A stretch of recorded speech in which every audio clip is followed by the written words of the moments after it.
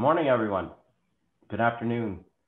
Uh, looks like we have some attendance uh, all the way from the East Coast to West Coast here today, and also people joining us from Houston, Texas. Um, thank you, everyone, for joining us today's session at uh, the CR Wall Gas Academy. I'm Jeff Erickson, Vice President and, of Customer Service and Sales at CR Wall. Uh, today, I'd like, I would like to welcome you to a complimentary session with our, our partner, uh, Broen Technologies. Today is to help us learn about the API 6D standard, the different types of valves and their associated features. You will also learn about the common best practices related to valve handling, storage, maintenance, and more. Excuse me. Your presenter today is Ben Marchisio, President, Managing Director of Broen Inc. Ben will give you a little bit more about himself when he begins his presentation. we will be taking questions throughout the presentation, so please use your chat or Q&A feature in the Zoom to submit your questions. Can you take it away, Ben? Thank you, Jeff. Um, and welcome everybody. Good morning. Thank you for joining us for uh, this session. Um, in this session, uh, we will uh, present some key features of the API 6D specification, and we will share with you some of uh, uh, the best practices that we um, experienced uh, while manufacturing ball valves for natural gas service. As Jeff said, let's start with a brief introduction of myself. So this is me with my family. For those who don't identify me, this is me. The other ones are my kids and my wife. I'm the president of Broen Inc. Uh, I was born and raised in Milan, Italy. So this is where my accent is coming from. And forgive me for my uh, broken English. I hope you can understand me. And in 2012, I moved to Houston, Texas, where I'm uh, currently based. Uh, I'm a mechanical engineer by background. I have an extensive valve experience with Broen and also with other international valve manufacturers. And my focus has always been uh, natural gas pipelines, mainly in North America, the US and Canada. I'm the father of seven for now, as far as I know. And uh, pre-COVID, I was loving sports and traveling, and I'm looking forward to going back to these old habits. A quick introduction to our webinar. We'll cover mainly three uh, topics. First, API 6D, uh, what the different types of valves are included in API 6D, and uh, some of the definitions, including double block and bleed and double isolation and bleed that sometimes are confusing to uh, people dealing with valves. Second section will be about uh, uh, what we consider some of the uh, best practices when handling valves from specification to uh, use of valves. Uh, they are based on common sense and uh, our experience. there is no rocket science behind that, and we will be very practical more than technical, but I hope you will find that interesting.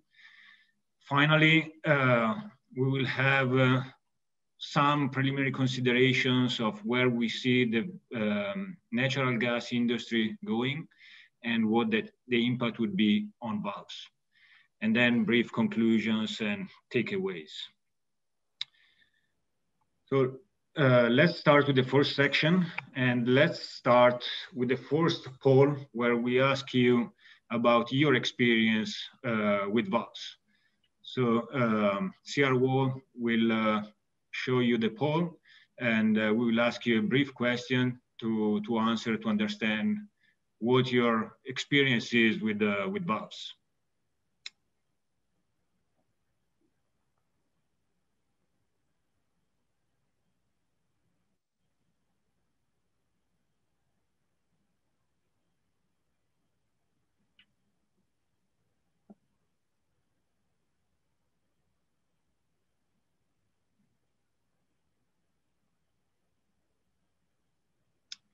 Okay, so we have the uh, results.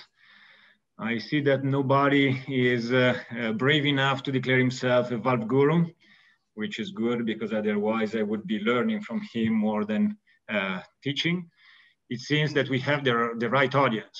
So people who know about valves, but they are open to learning more, which is great. I actually would define myself in this category. And then there are some people who don't know that much. And thanks God, there is nobody who is not interested in valves because in that case, they would be in the wrong webinar. So thank you for participating to the poll. That gives us a sense of uh, the audience we have. Uh, for me, it's an unusual uh, way of presenting. Uh, I like when I'm in person in front of people and I don't see the audience today. I know we have a, a large group from different gas companies in Canada, from uh, east to west, which is great. And I hope to have a chance to, uh, to see you in person soon. So let's start with the definition, what the API 6D standard is. It is a valve specification um, for petroleum and natural gas. Uh, we currently are using the 24th edition, which was released in 2014, and it was made effective a year after in 2015. It's important to note that uh, uh, the API 6D committee is working on the 25th edition. It was supposed to be released uh, uh, last year, and then with the COVID craziness, everything was postponed, including the release of this specification. Um, but we are looking forward to seeing it. Uh, I have seen some drafts uh, for comments. Uh, there will be some changes, but we don't expect any major uh, change. Currently, the sections uh, that are included are valve types and configurations, and the API 6D includes four type of block valves. Ball valves, gate valves, plug valves, and check valves. Um, check valves are slightly different than the other types because they are used for um, as a, a backflow preventers. The other valves are pure on-off valves where uh, the operator decides for uh, opening or closing them. The API 6D uh, standards standard includes some design uh, recommendation, uh, including uh, some guidance on the design code used to size a valve, pressure rating, um, materials, welding specifications, uh, the recommendation to use approved um, welding procedures, and the recommendation to have the welders certified. Quality control, how to perform and how to report NDEs, pressure testing for the shell test, uh, seat test, and uh, uh, supplemental tests, coating, painting, uh, marking, how to present the, an API 6D uh, compliant label, how to prepare the valves for shipments, how to uh, prepare the documentation and archive it and submit it to customers, and then what the requirements for the facility uh, are. It is important to note that a valve to be API 6D, uh, it has to carry a monogram. And the monogram is given to the factory that manufactures the valves. Uh, the API monogram identifies the uh, best organizations that manufacture valves that prove the, their ability to uh, comply with the valve specification. One of the requirements is to have a quality management system compliant with the API uh, Q1. And uh, the API 6D monogram has to be maintained. So periodically, uh, API auditors have to perform audits to the factory um, to confirm the validity of the monogram. And Broen uh, is proud of having uh, the API 6D monogram, 6D0378 for several decades. And again, this is a sign of, uh, for sure, compliance, but also the um, high level of quality of our products. Some definitions, um, let me. So we are speaking of block valves. Uh, the, the purpose of uh, block valves is to block the flow into the downstream direction when the valve is in closed position. it's important to note, and we will see this again uh, during the presentation, that block valves are to be used for on-off service only, not for regulating the flow and not in partially open position. Again, on some definitions of the uh, key valve components, uh, the body. The body is the pressure containing, the main pressure containing component to prevent external leaks. And uh, uh it can be in different uh, materials, different configurations, and we will see some details later. The key component is called obturator, which is the part, the moving part of the valve that permits or prevents flow through the valve. And it is the part that defines the valve type. So in our presentation, the obturator can be a ball, a gate, or a plug. The seat is the surface upon which the obturator rests to prevent the flow through the valve. And it can be uh, a metal, metallic material or a soft, uh, a polymer or a thermoplastic material. And it can be fixed or spring loaded. And then uh, the stem, which is the part connected uh, with the obturator that allows for opening and closing operation. So here on this page, uh, we are comparing the three uh, types of on-off valves that are included in API 6D, ball valve, gate valve, and plug valve. And we will highlight some features, um, keeping in mind that there are always a lot of exceptions, details that are either not uh, included in API 6D or they are allowed by API 6D. So first, let's start with the service. The ball valve is the typical valve used for natural gas service. Again, there are plenty of exceptions. There are uh, ball valves for severe service, for slurry in mining applications, but that is not the typical ball application. There are some uh, users that prefer ball valves also for liquid service, but again, that is not typical. When it gets to liquids, the most common type of valve is the gate valve. And then there are plug valves that are used both for gas and liquid service. There are a lot of different configurations and options. And here I will list some, again, um, to keep this presentation uh, simple. I didn't try to be comprehensive, but it gives you again some indications of the different types of valves. So ball valves uh, can have a forged or a cast body. They can be floating type or trunnion mounted. They can be full port or reduced port. The, the body can be bolted or welded. They can be top entry or side entry. And uh, the seats can be self-relieving uh, or double piston effect. And we will see some more details about the different seats uh, configurations uh, later on. Gate valves can be wedge gate or slab gate or expanding gate. And expanding gates can be double or single expanding type. The body can be plate fabricated or cast. The valve can be uh, with a rising stem or an internal screw. They can be standard acting or reverse acting, and the seats can be fixed seats or Springer energized seats. Uh, the plug valves can be lubricated or non lubricated or standard type or expanding type. The, the valve uh, reacts in a different way uh, depending on the pressure in the upstream uh, pipe. So in a floating ball valve, uh, the higher the pressure, the better the sealing performance. So the fluid pressure assists the sealing effect. In trunnion valves, there is limited effect of the fluid pressure on the sealing performance.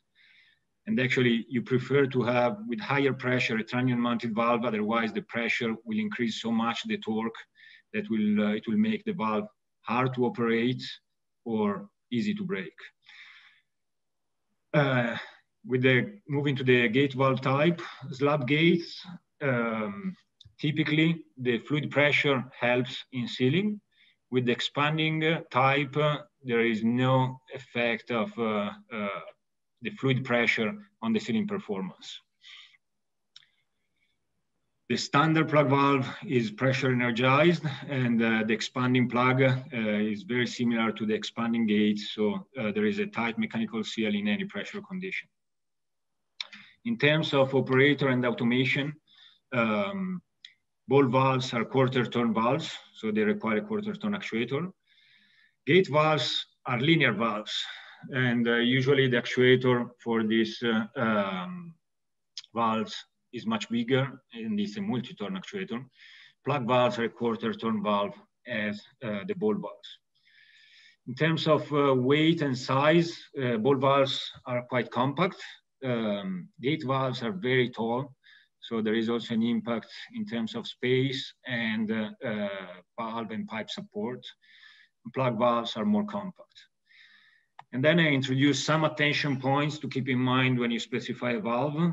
Um, in the ball valve, the standard ball valve, there is friction between the seats and the closing element, which is the ball.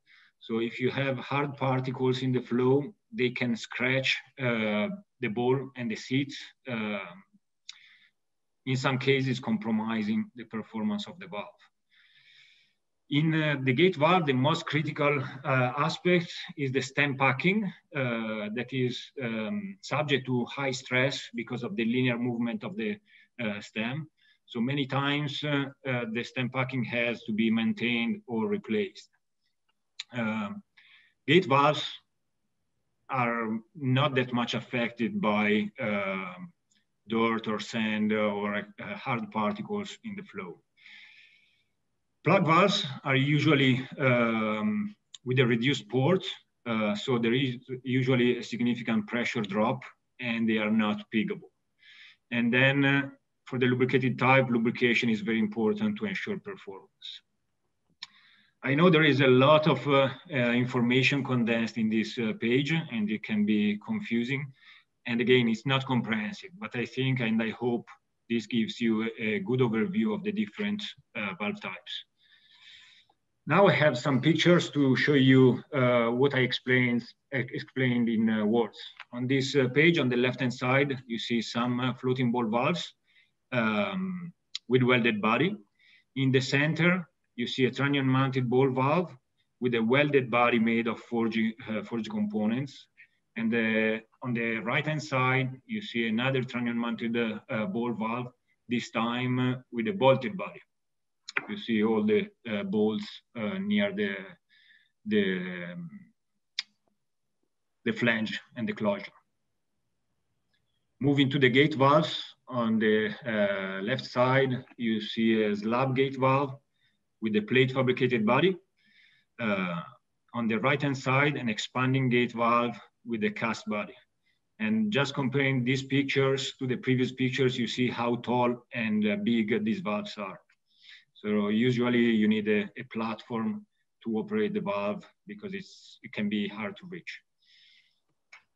And then plug valves on the left-hand side, the typical uh, standard lubricated plug, valve, plug valve made with a cast body. And on the um, right-hand side, a much heavier expanding plug valve, again with a cast body. Let's uh, uh, now move to some other key features in the API 6D valves. Uh, single piston effect seats and double piston effect seats, and then double block and bleed and double isolation and bleed. And to explain these features, uh, I have a couple of uh, short videos. So I will uh, launch them. I hope the audio is, not, is okay.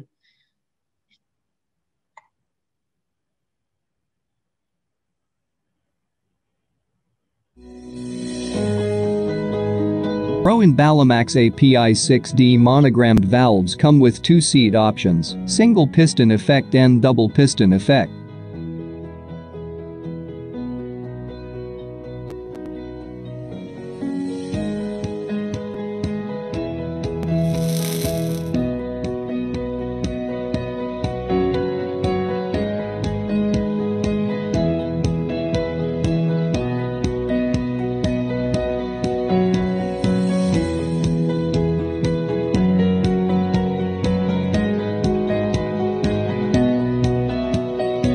The single piston effect seat releases any overpressure in the body cavity to the site of the lower pressure. This mechanism prevents excessive pressure within the body cavity.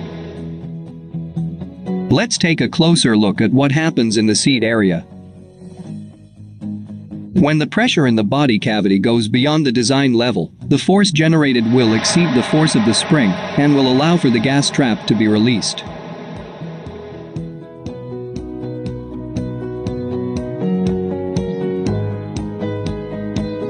The single piston effect seat is also known as self-relieving seat or unidirectional seat.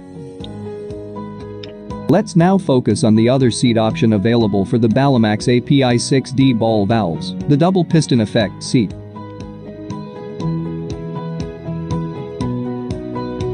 And valves featuring the double piston effect seat, any pressure is contained within the body cavity.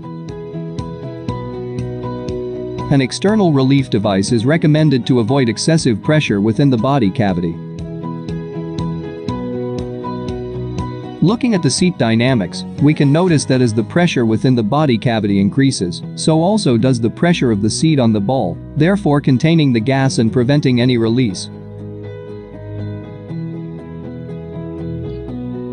The double piston effect seat is also known as bi-directional seat.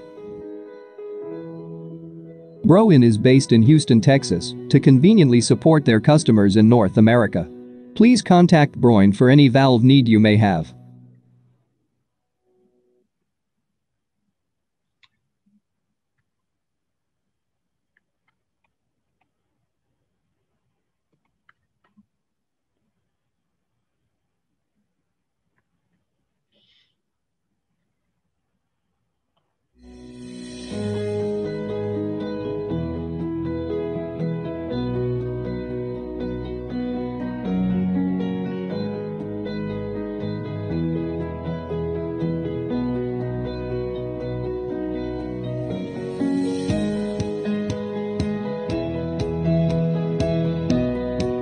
The double block and bleed feature of the valve is the ability to segregate two pressure sources and to bleed or vent pressure in the void between two sealing elements.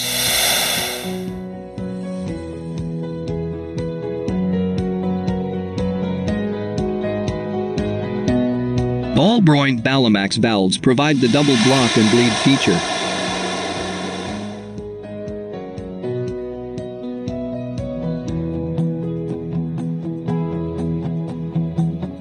The double isolation and bleed feature is the ability to provide two sealing elements to a single pressure source and to bleed or vent between the two sealing elements. In the valve industry, there are two types of double isolation and bleed features. The first type is called DIB1. Trunnion-mounted ball valves providing the DIB1 feature have two bidirectional seats. The Ballomax valves with two seats, with double piston effect, are DIB1. The second type of double isolation and bleed feature is called DIB2. In this case, the seat on the side of the pressure source is unidirectional, and the downstream seat, on the side of the open-ender equipment, must be bidirectional. It is important to pay attention of the direction when it is installed. Please note that the valve with two single piston effect seats does not provide the double isolation and bleed feature. Broen is based in Houston, Texas, to conveniently support their customers in North America. Please contact Broen for any valve need you may have.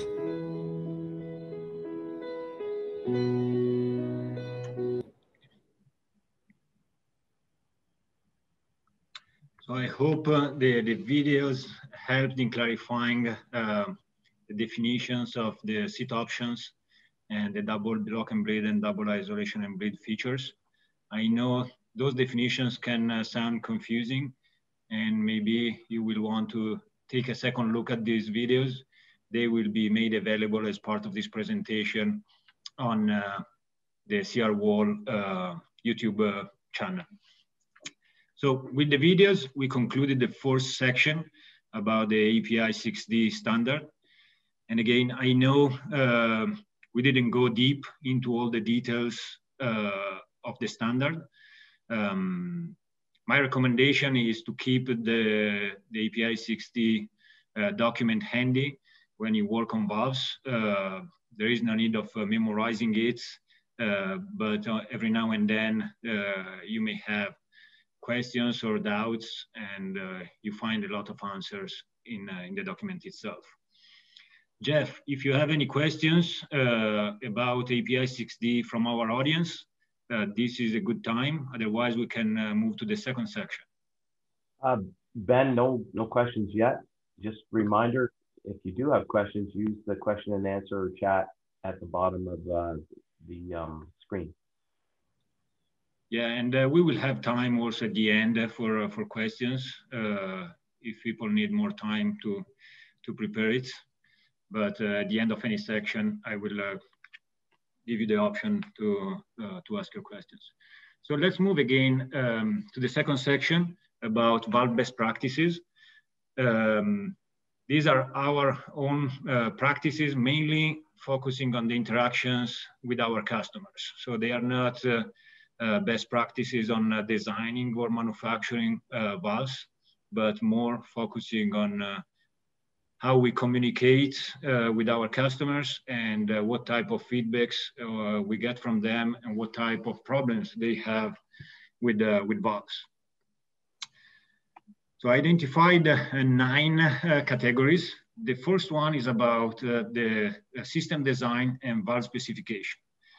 So many times we see that problems with valves are originated by the use of the wrong valve uh, the strong recommendation, which sounds uh, very simple, uh, but it, it is not obvious, is to use the right valve for the service.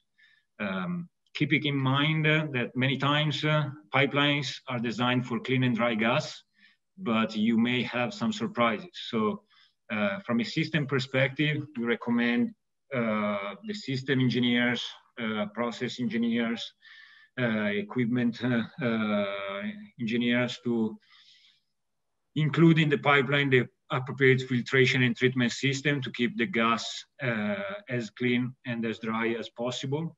But at the same time, um, our valves are equipped with a, as a standard with the PMSS seat, primary metal, secondary soft, which is a little more forgiving than a standard uh, soft-seated ball valve. What does that mean? Basically, the first point of contact between the ball and the seat is uh, uh, the metal seating. That metal seating has two main features. One, it protects the soft seat. So if you have uh, some hard particles, they first hit the metal component and, uh, and not the HNBR uh, soft seat that can be easily uh, damaged and second, they ensure um, fire safety. The soft seat is the one that ensures uh, zero leakage, and uh, in our standard API 6D valves, it is in uh, HNBR. And in general, um, we see a lot of uh, doubts or concerns uh, uh, when the valve specification is not clear for us, the basic set of information to make sure that we are supplying the, um, the right valve is listed uh, in this page. So we need to know the valve type. Is it a ball valve that you need or a gate valve? What type of uh, size? What pressure class? What type of end connections? It's important for us to know uh, the service conditions, uh, fluid, temperature, uh, to verify that all the materials are the right ones. Um, we need to know which standard to comply to, for example, API 6D. We need to know if you have any specific test requirements. If you tell us that uh, you need an API 6D monogram valve, we will for sure deliver a valve that is tested for API 6D. But there are some customers that uh, require an extended uh, uh, pressure test or a, specific fire test or a specific fugitive emission test. So let us know if you have any specific test requirements. Same with the paint and coating. And finally, the type of operator.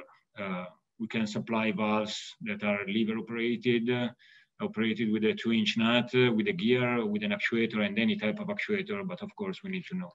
So if you have a valve specification, please share it.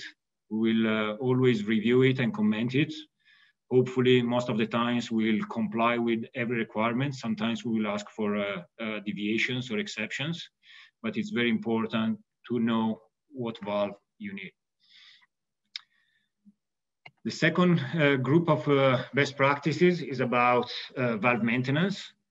So PHMSA uh, specified the requirements in the Federal Code 49, Section 192, and uh, um, it is applicable mainly to US uh, systems, but sometimes also Canadian um, gas companies apply those requirements. So the requirements for transmission lines is that every valve has to be inspected uh, and partially operated at intervals not exceeding 15 months, but at least uh, once each calendar year. And for distribution systems, uh, uh each valve must be checked and serviced at intervals not exceeding 15 months, but at least once each calendar year. What we recommend at uh, Broen is that our floating ball valves, uh, we consider them maintenance free. So we recommend to operate the valve at least once each calendar year to verify that the ball is not stuck. Uh, but again, those valves are maintenance free. For our Broen API 6D, each one of them is equipped with uh, injection ports and with a bleed system. So our recommendation is to flush the seats to, to clean them lubricate the seat uh, to reduce the torque and operate the valve at least uh, once a year. And uh, we recommend to use uh, the flush lubricant and sealant products recommended by us or by the valve manufacturer uh, you use or the lubricant manufacturer. And uh, Broen recommends Sealweld products. those products are distributed into Canada by CR Wall and I know we have a couple of friends from Sealweld on um, on this webinar. So maybe at the end they may be adding some additional information about their products if they want. Here you see uh, how our lubrication uh, systems are designed. So we have ports on the, the seats, as you see on the left. Um, injection ports are always equipped with a, a giant button head grease fittings, and for the larger valves, also with an inner check valve. And we also have uh, lubrication ports on the stem. Moving to the next best practice, um, a lot of uh, problems are caused uh, during transport, transportation, handling, and storage.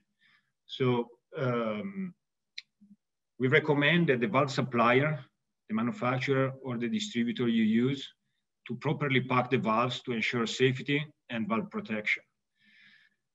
We recommend that the valves are transported in their original shipping packaging uh, and they are properly secured to the vehicle. Um, the manufacturer should always uh, supply written procedures. And in the, on the right-hand side of this slide, you see a snapshot of our um, procedures that you find in our technical manual. And all our valves are equipped with uh, end caps and flange covers to protect uh, uh, the end connections and with a plastic wrapping to protect the valves from uh, uh, contamination. Valve coating. Uh, valve coating for a buried service is a complex uh, process. And uh, you want to make sure that the, the coating is applied in compliance with the uh, coating specification. So um, make sure that your suppliers use the, the right coating system uh, that is uh, the right fit for your service. And we recommend to ask for a coating data sheet for your review. And then the coating has to be applied correctly. So uh, here you see some pictures of how we apply our um, epoxy coating at Broen. We use a pluri-component airless uh, spray equipment uh, system, which is uh, the one on the left-hand side.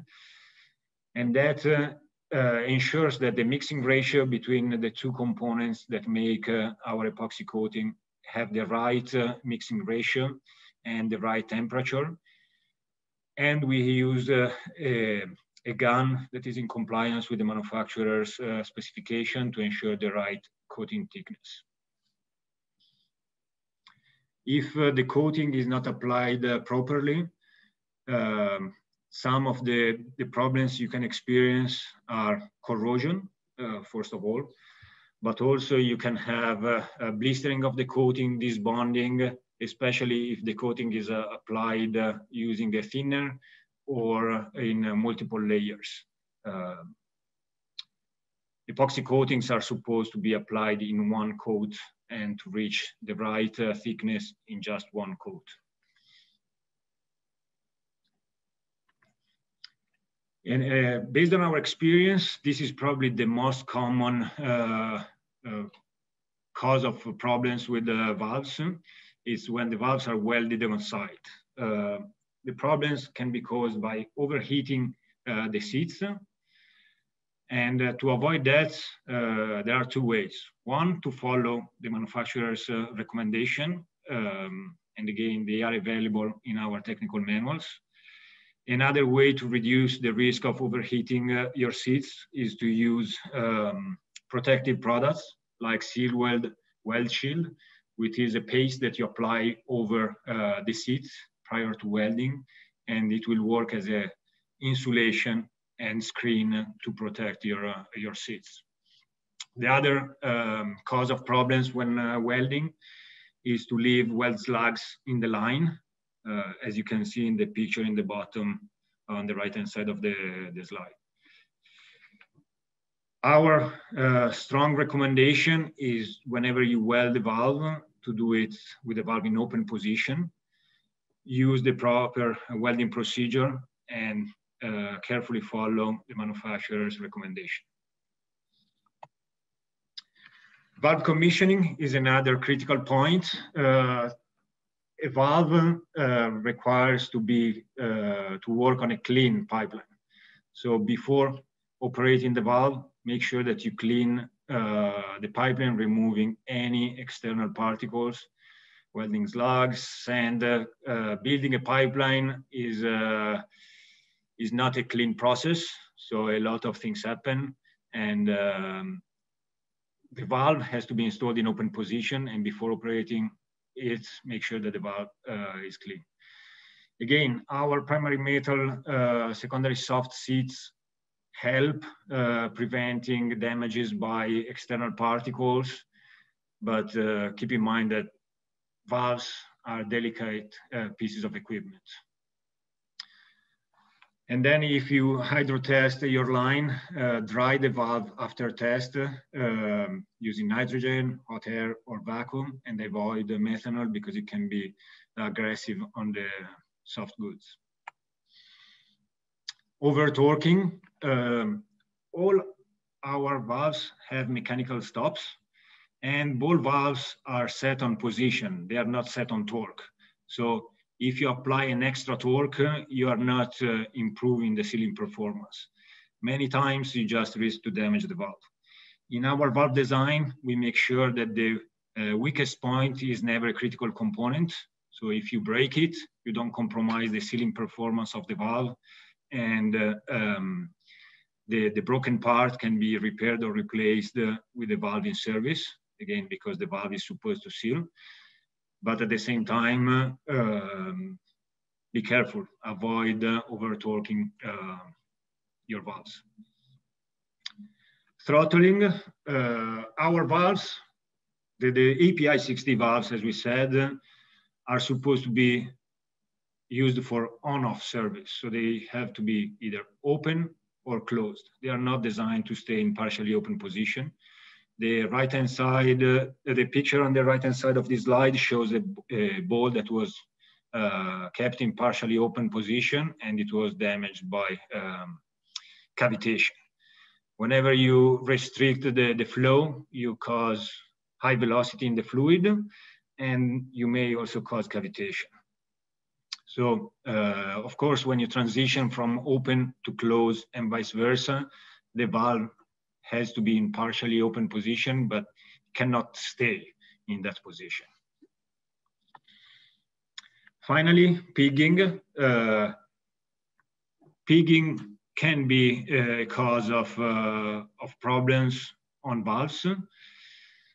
Of course, you want to have uh, a full port piggable valve when you pig a line, and the valve must be in open position.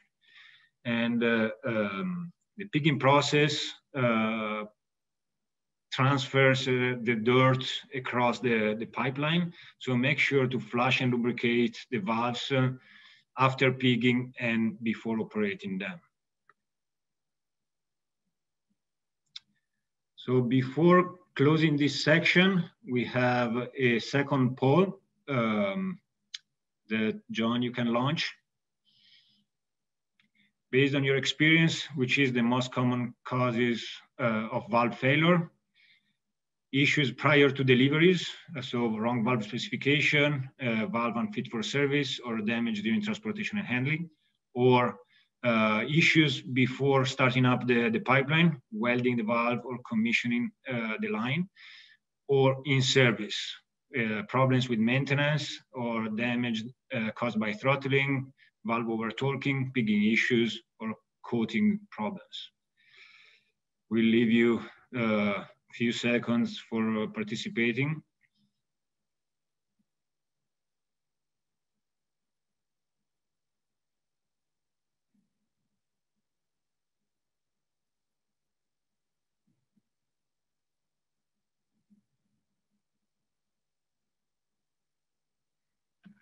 Okay, this is very interesting. So 63% of the participants uh, experience problems with the valves in service. Um, of course, when the valve is in service is when you see uh, the problems, but the cause could be uh, in the previous areas. So the according to your experience, uh, issues are related to uh, maintenance, uh, throttling, over torquing, pigging, and failure on coating. Thank you for participating in the poll. So this uh, is the end of uh, the second section of this webinar. And again, Jeff, if you have any questions, let me know. Otherwise, we move on. Uh, no questions yet, Ben. You must be doing a great job. Okay, thank you. So let's move to the uh, third section, what we see in the natural gas industry. And uh, of course, uh, as a valve company, we want to be ready for what happens next and developing new products requires some time. So we want to be ahead of, uh, of the game. And uh, these are the, the trends we see. This is, uh, uh I would like to have an open discussion about uh, this because we are entering into the, the opinions uh, world. There is never a certainty about the future. But uh, of course, this format doesn't help much for having interactive uh, sessions.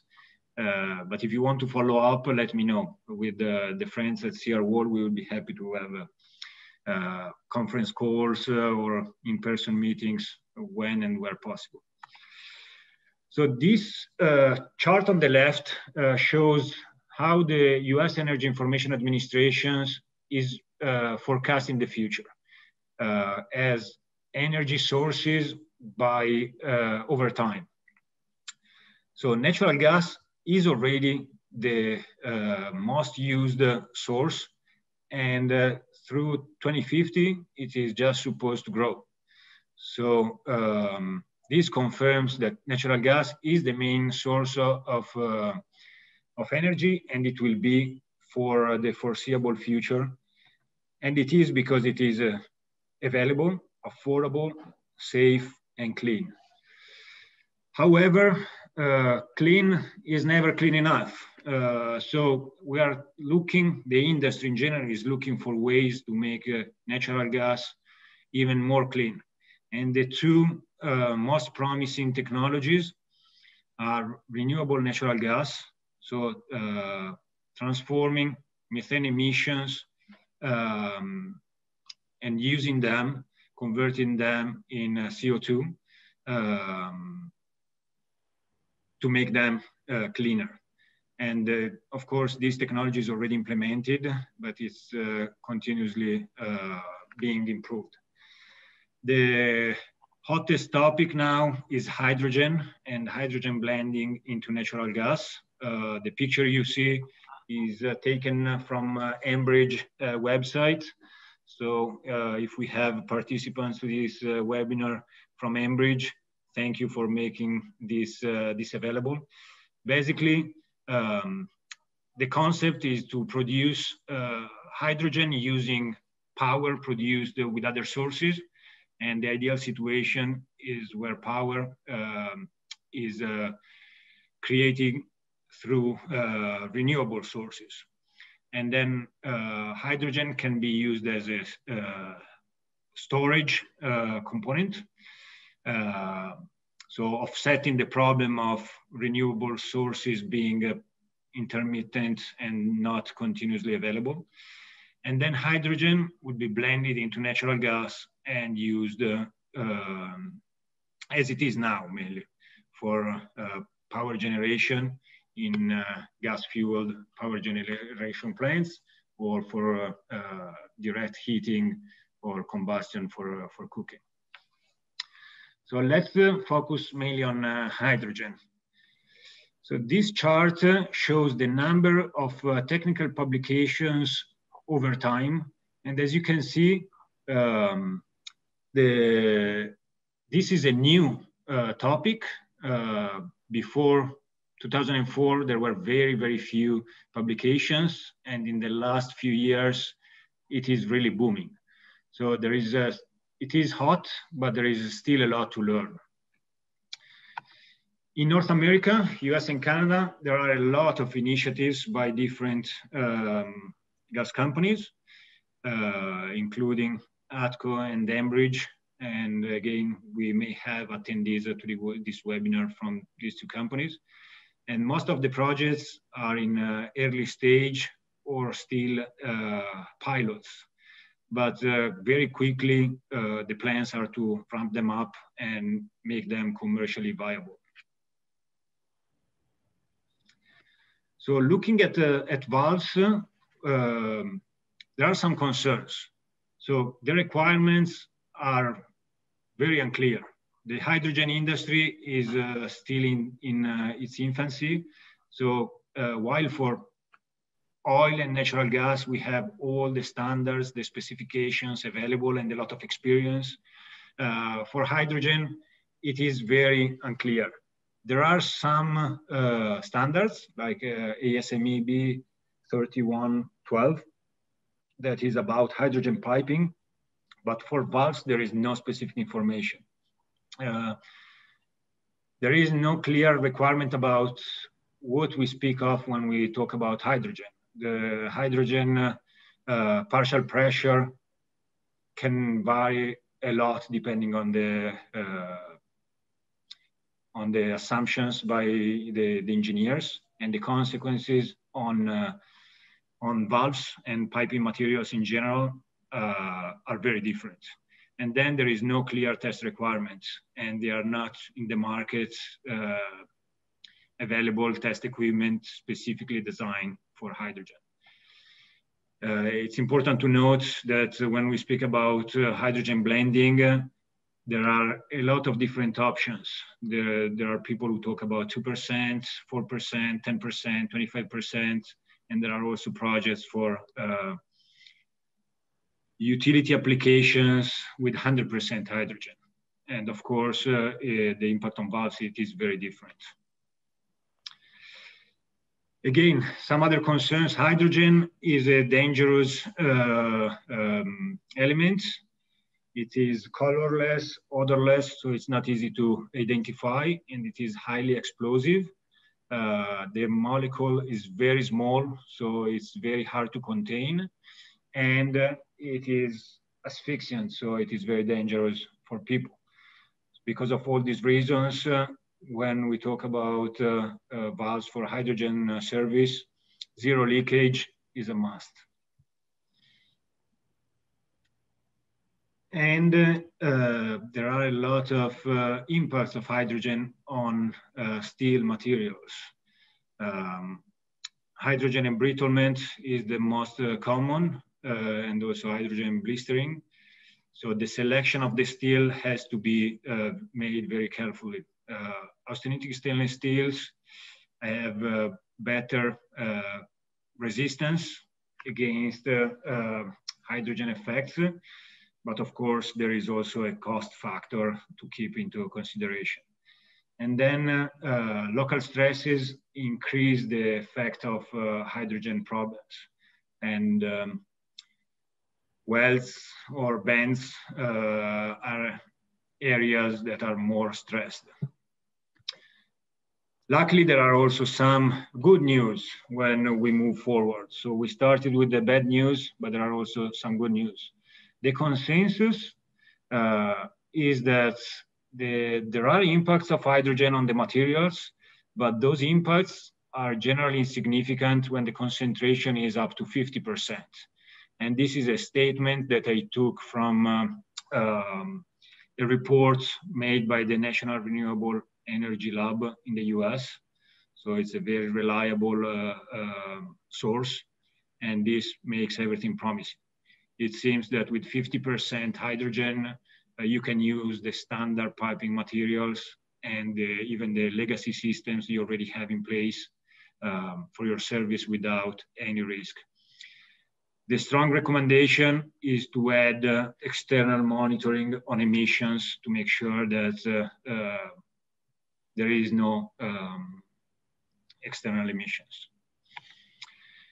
Our uh, broad point of view is that we have ex extensive experience manufacturing ball valves for any natural gas service. So not just uh, clean and dry uh, natural gas uh, for utilities, but also extra sour natural gas uh, that you find in upstream services and LNG. And also we have experience with the pure hydrogen service. Also uh, at high pressure and high temperature, where the effects of hydrogen are uh, amplified.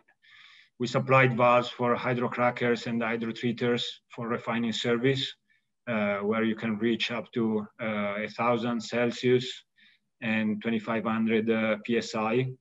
Of course, uh, those valves are very special valves and the cost of those valves is more than 10 times higher than our standard uh, ball valves, but we have the experience. So whenever the requirements uh, will be clear, we will have options for you.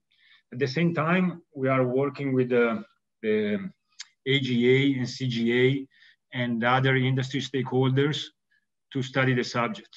I'm personally part of the AGA uh, Piping Materials Committee, and uh, we are working on a white paper that we are planning to release uh, at the AGA event in October, where the AGA will provide its perspective on hydrogen blending, including the impact on piping materials.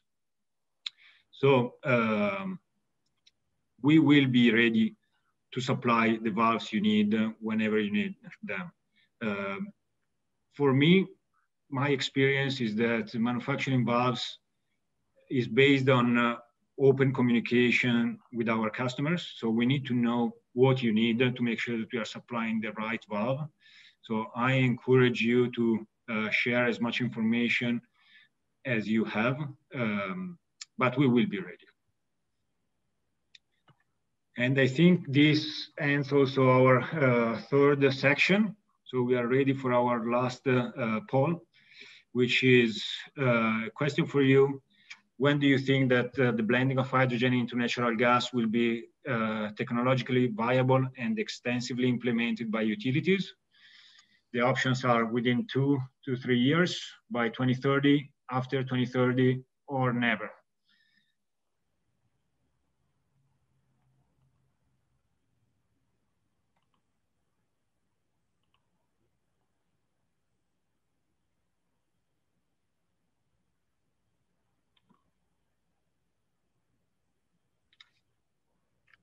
Well, thank you for your uh, feedbacks.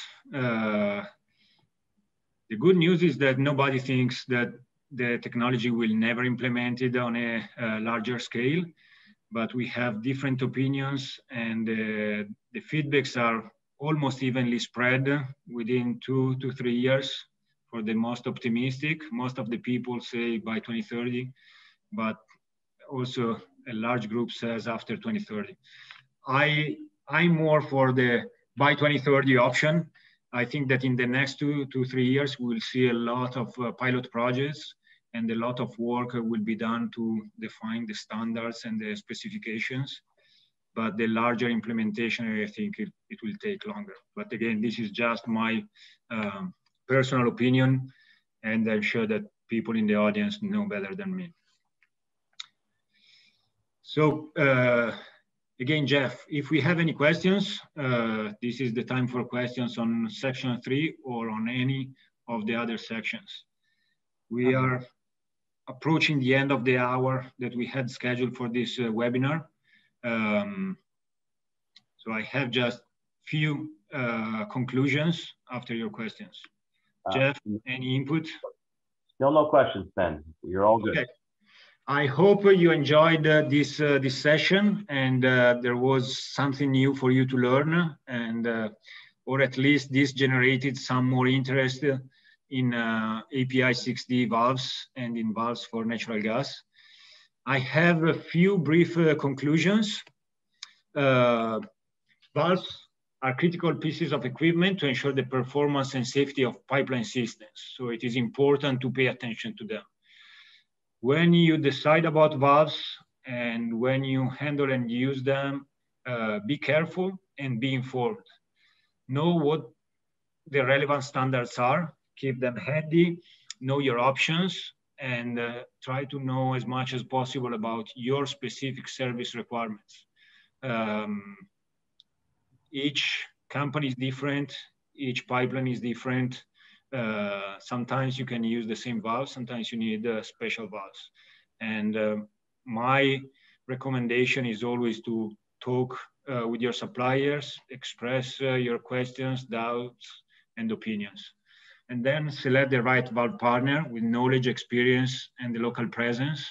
Um, ask for documentation, ask for clarifications, for drawings to make sure that you know what you will be using in your systems. And thank you very much for attending. Uh, again, here you have our general uh, contact information, uh, email and website. Follow us on uh, LinkedIn uh, and keep your communication open with the CR Wall. And again, we are open for any follow-ups. If you have questions, uh, if you want to have a dedicated session for yourself or your colleagues, let us know and we will make ourselves available. And then I'll hand over the stage to Jeff and uh, CR Wall for their uh, closing uh, notes. Thank you, Ben. Great job. And still no questions, so you must have answered everybody's questions. Um, I have one announcement um, coming up on May 13th. We're um, offering another complimentary uh, Wall Gas Academy session, and it's going to be with Sealweld Sealweld's going to talk about um, different valve fittings, valve adapters, the proper injectables, grease, and sealants, and then the proper pumps. Uh, so please join us. If you need any information on those, reach out to me or anybody at CR Wall will help you. And then once again, thanks everyone for joining us. Thank you. Bye. Bye-bye.